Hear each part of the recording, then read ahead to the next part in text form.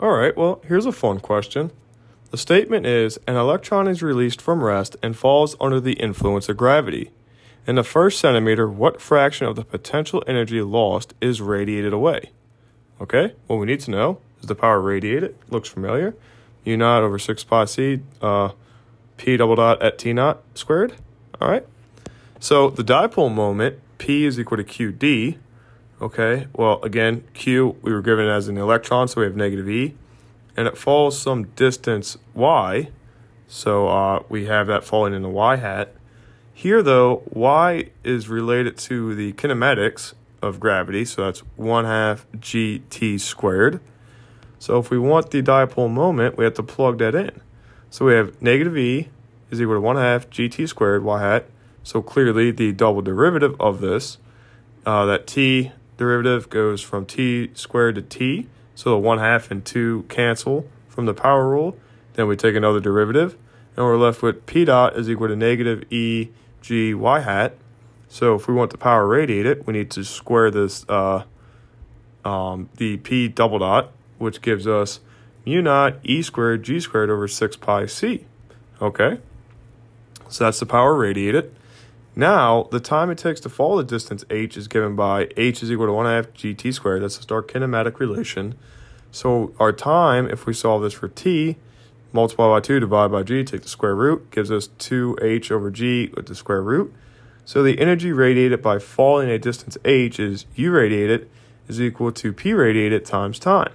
So we have p radiated from before times the time, which gives us 2h over g. Again, you can read that pretty quickly. Um, now, meanwhile, the energy lost is the U potential, which again, conservation says is mgh. Um, so we have to take the fraction of the radiated energy and the potential energy. Uh, other textbooks or papers use W instead of U. Um, so again, power is related to energy by time.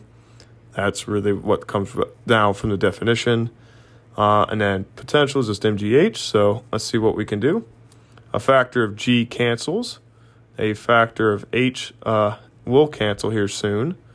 Uh, I highlighted them in red because we're trying to push them into the square root. Okay, so with that g canceling with the denominator, what we see here is that in order to put in a square root, we need to square both of them. So we get g squared over h squared when we put them into the square root. And now we see that the factors of h and g that we found from the time perspective, or with the time, is now flipped. So we see that the uh, ratio is now mu naught e squared over 6 pi mc square root of 2g over h. Now it's just up to us to plug everything in. We know mu naught's a constant. We know the charge on the electron constant, 6 pi. You know, the mass of the electron, the speed of light.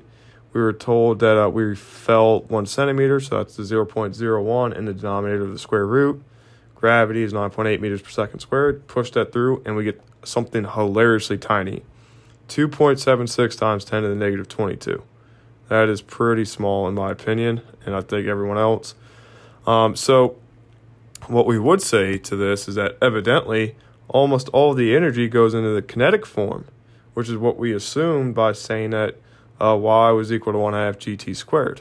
It's moving. So we're good to go there.